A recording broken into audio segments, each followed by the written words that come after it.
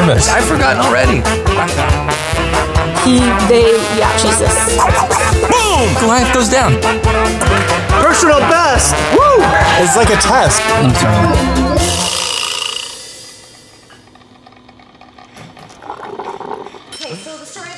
Hey guys, we're back for another episode of Caffeinated Pastors. Sandra's here again with the Good Samaritan. Let's check it out.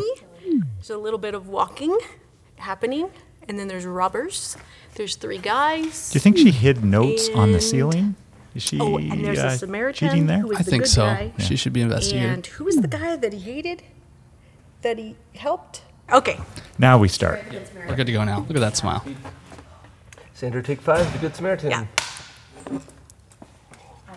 Okay, the Good Samaritan. So um, there's this guy, he's walking along on this road, and then these robbers come and they beat him all up and they take all his stuff, and I think he's like kind of a little bit naked, but he's definitely beat up. And so then um, some other guys come and walk, and then the first guy comes and he walks along the road and he like sees him, and he kind of like thinks it's super weird, so he goes to the other side of the road, and then he passes on by and he doesn't help the guy at all. And he might have been a priest who should have like helped because he was like a Jewish guy who loved God and would want to help people, but he didn't. And then there's another guy, and I don't remember which one he was, but he came and he walked by too, and he did nothing as well to help. And then the third guy, who was the Samaritan, who had actually been a total enemy of the guy who got beat up, um, for some reason, which was related to politics, but I don't really understand. That's the government. And then, um, and then he helps the guy and he like wraps him up and he bandages his wounds or something, and then he like carries him, I think, on a donkey maybe, and then he gets him to some house in this place and he gives them money and says, "Take care of this guy." Um, and so he was the good Samaritan. He actually did great stuff. Amen. Sorry. Don't be sorry. You're not. That's good. You nailed it. Let's watch it again. For sure. Okay, the Good Samaritan. So um, there's this guy, he's walking along on this road, and then these robbers come and they beat him all up and they take all his stuff, and I think he's like kind of a little bit naked, It does say he's naked. Yep. Totally naked. but he's definitely beat up.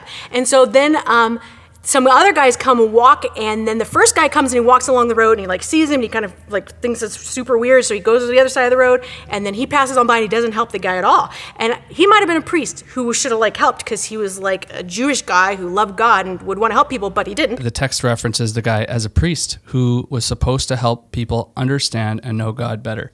And instead, this priest just hops across to the other side of the road. Not cool. And then there's another guy, and I don't remember which one he was. He was actually a Levite, which was like a set aside class of people all the way back from the Old Testament who were religious teachers, taught the law, and so knew his Bible and probably knew what was the right thing to do. Still didn't do it, hopped across to the other side of the road. But he came and he walked by too, and he did nothing as well to help. And then the third guy, who was the Samaritan, who had actually been a total enemy of the guy who got beat up um, for some reason, which was related to politics, but I don't really understand. That's the government. And then. Um, and then he helps the guy and he like wraps him up and he bandages his wounds or something. And then he like carries him, I think, on a donkey maybe. Yeah, a donkey. His own donkey. And then he gets him to some house in this place and he gives them money. And actually gives him a lot of money, like two days' wages, and makes another promise to the owner of the inn saying, And if you need more, just just do what this guy needs. I'll, I'm willing to pay it back. It says, take care of this guy. Um, and so he was the Good Samaritan. He actually did great stuff. Amen. Sorry. Amen, and no need to apologize. We forgive you. Yeah, it was good. Sorry. I will try not to end all of mine with amen.